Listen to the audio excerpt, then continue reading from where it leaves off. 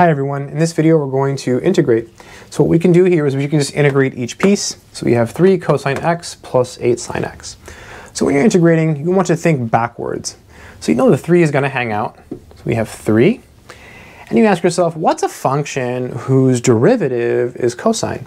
Well, the derivative of sine is equal to cosine. So when you integrate cosine, you get sine. So sine. The 8 hangs out. Now you have to ask yourself, what's a function whose derivative is sine? So the derivative of cosine is going to give you a negative sine. So this has to be negative cosine. Because when you differentiate negative cosine, you get negative negative sine, and that gives you sine. It's a lot of thinking. And don't forget our constant of integration, capital C. The last thing maybe we can do is put the negative here.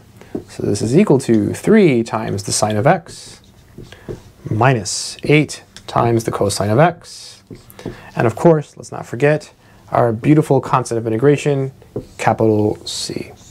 And that is the final answer. I hope this video has been helpful. Take care.